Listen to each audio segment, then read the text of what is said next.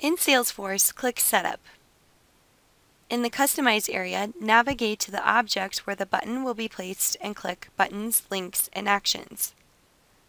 Click the link in the Label column for the sample Conga Composer button to open it. Copy to the clipboard the contents of the button or link URL field.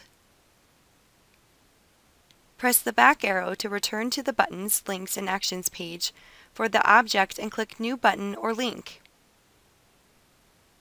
Complete the button or link fields. In the Label field, type a name for the button or link.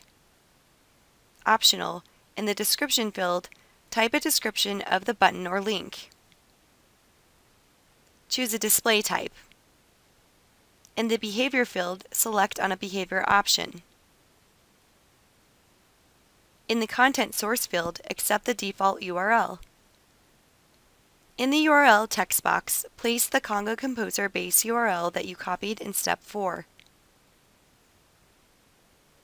Optional, at the end of the URL, add parameters as desired to specify a report or query ID, log activities, initiate background mode processing, automatically email documents, and other features.